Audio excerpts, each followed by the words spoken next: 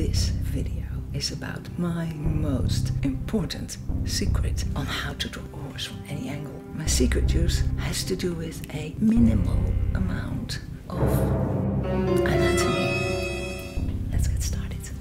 To draw a horse from the imagination, we're basically making a horse stick figure. On the left is our skeleton with all the details, and on the right you see the simplified figure, which is our stick skeleton or stick figure. The only difference is that the neck ends in the withers, which doesn't really happen with the skeleton, but this is easier.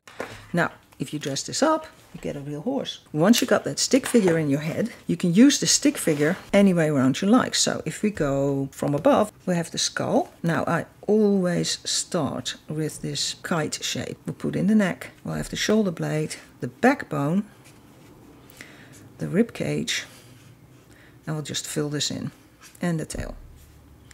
Now, chest from the shoulder blade,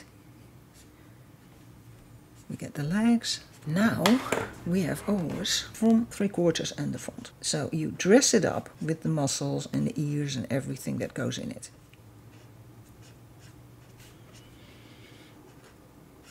This stick figure also helps you to get the proportions right. And like I say, you can you can imagine the stick figure any way you like. You can you can draw it from behind. Pelvis, shoulder blade, the neck, the skull, the rib cage, important in this case,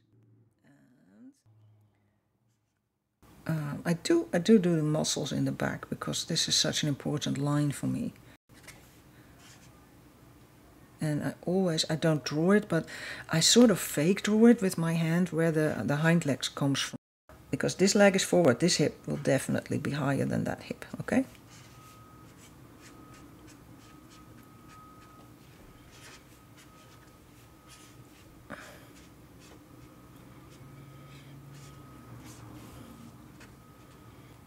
Second line here for the jaw, because we're looking at the jaw from behind.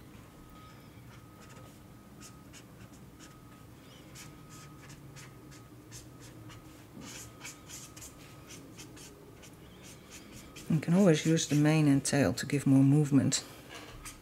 So what you can do to get this basic stick figure is practice. You can take photos, draw horses, sketch horses from life, simple outline. And when you're satisfied with how it looks, you take a marker and you draw in the stick figure. That will help you get comfortable with the stick figure. Does this make sense? Give me a yes in the comments. So after you've done that a couple of times, you can do the stick figure on its own in the right proportions.